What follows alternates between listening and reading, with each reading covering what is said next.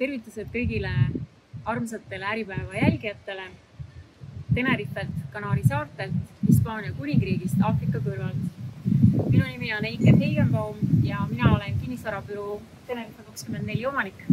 ja meil on plaanis kahekümne teisel septembril koos Äripäevaga teha veebiseminar teemal, kuidas osta kinnisvara Hispaanias Kanaari saartel ja kuidas just investeerida oma raha puhkusemajutuse korteritesse.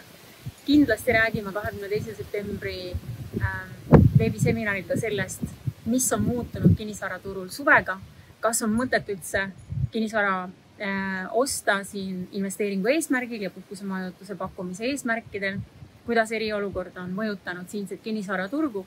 sellest kõigest saate kuulda siis kahekümne teisel septembril äh, veebiseminaril ja keda huvitab laiemalt kinnisvara ostmine Hispaanias Kanaari saartel, siis järelvaadatav on viienda märtsi veebiseminar sellest aastast. nii et seniks teile imeilusat suve Eestisse ja palju päikest